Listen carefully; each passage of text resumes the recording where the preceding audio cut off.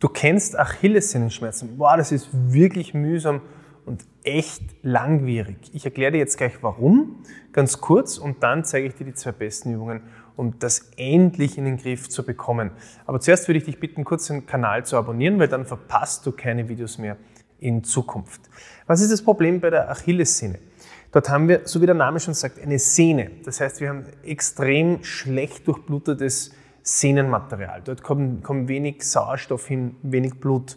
Das heißt, diese Zellen, die ähm, da unter Schmerzen oder unter Verletzungen leiden, die brauchen sehr lange, bis sie wieder regenerieren können. Die Achillessehne ähm, bzw. die Zellen dort haben überhaupt eine Halbwertszeit von 100 Jahren. Das musst du dir mal vorstellen. Also, dass sich das alles wieder einmal rund erneuert, das erleben wir leider nicht. Aber wir können etwas tun und das möchte ich dir zeigen, um diesen Schmerz zu verbessern, beziehungsweise wieder diese Spannung und diese Verklebungen, die sich auch in diesem Gewebe dann mit der Zeit befinden, zu lösen. Sagen wir, es ist die linke Seite betroffen, du kommst an einen Tisch oder an ein Fensterbrett, wo du dich schön anhalten kannst. So, jetzt machst du einen großen Schritt mit dem betroffenen Bein nach hinten. Du solltest einen Schmerz spüren, der sollte aber noch erträglich sein. Ja, du kannst die Intensität wählen, indem du mit dem vorderen Knie weiter nach vorne kommst oder weiter nach hinten. Wähle sie so, dass du den Schmerz deutlich spürst, aber er noch für dich erträglich ist. Und dann bleibst du in dieser Position mindestens 30 Sekunden, besser eine Minute. Und ähm, nach einer gewissen Zeit, so nach 20, 30 Sekunden, wird schon ein bisschen leichter, wird schon ein bisschen besser. Du kannst noch ein bisschen tiefer reinkommen. Das machst du, indem du mit dem vorderen Knie noch mehr nach vorne kommst. Ganz entspannt atmen dazu. Gut, und jetzt drehst du mal den Fuß, den hinteren Fuß so leicht nach innen.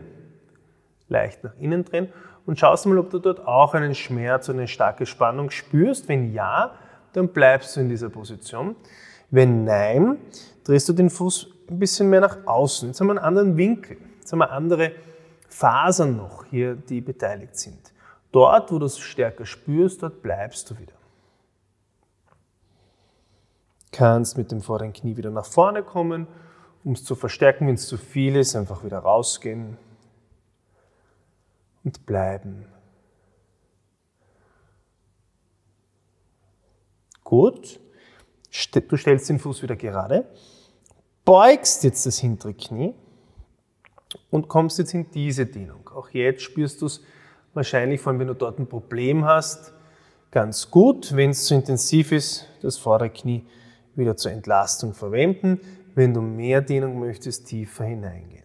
Also das hintere Knie ist jetzt gebeugt. Bleibst in der Position. Entspannt atmen.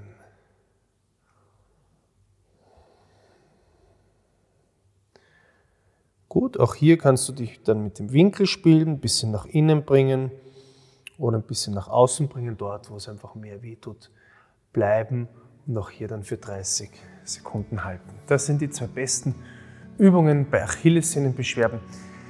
Man braucht ein bisschen Geduld dafür, es ist wirklich ein langwieriger Prozess, bis das alles wieder in Schwung kommt, bis die Schmerzen zurückgehen, bis die Spannung dort weniger wird und sich das endgültig auflöst. Also regelmäßig die Übung machen, dann schaut es gut aus.